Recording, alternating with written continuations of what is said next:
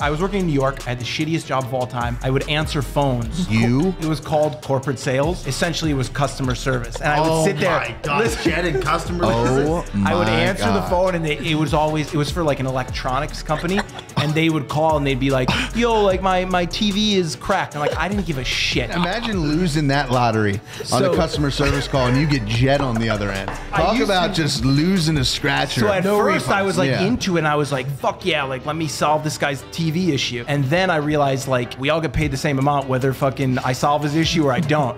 So yeah, yeah. so I used and like